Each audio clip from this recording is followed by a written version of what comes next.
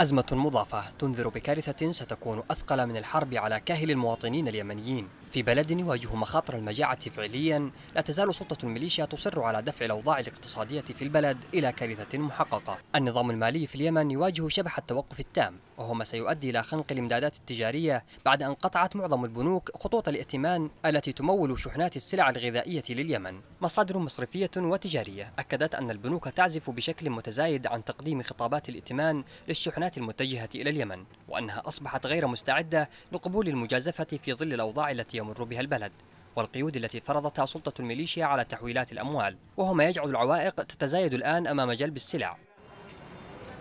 مصدر مصرفي أوروبي قال أن بعض البنوك قررت الانسحاب بالكامل من تقديم خطوط الائتمان لتجارة الغذاء إلى اليمن فيما أشار مصدر محلي أن البنوك المحلية توقفت عن فتح خطابات اعتماد لأن البنوك الخارجية توقفت عن التعامل معهم.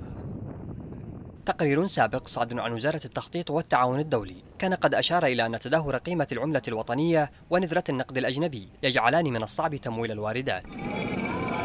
تدهور الوضع سريعا الشهر الماضي بعدما أوقف البنك المركزي دعم شراء السكر والأرز من الأسواق العالمية مع استمرار فرض القيود على التحويلات المالية للخارج.